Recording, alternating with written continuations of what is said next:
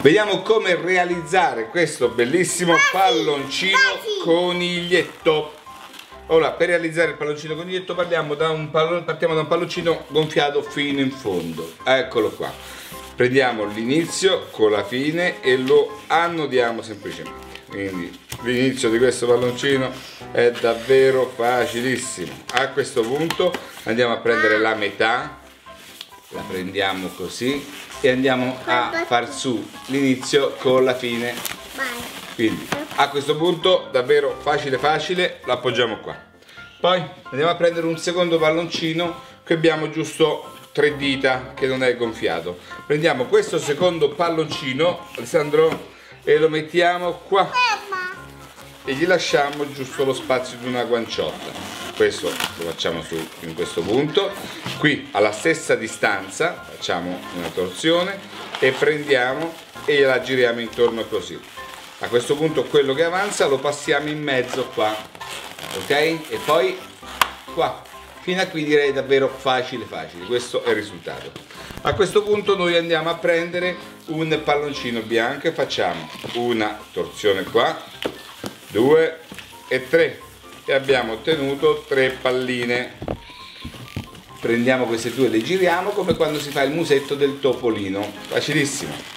Poi prendiamo questa cosa qua a questa distanza più o meno. Facciamo la torsione.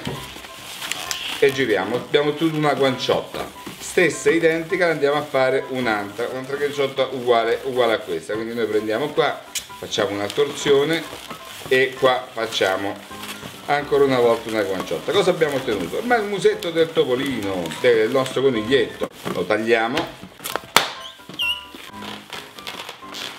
Fai vedere che sei un topolino? Fai vedere. Cosa sei tu? un topolino? Eh, lui è un topolino piccolo un topolino smarrito. Noi prendiamo.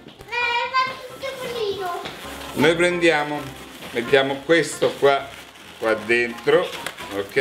E poi queste due guanciotte gliele giriamo intorno. Una di qua e una di là.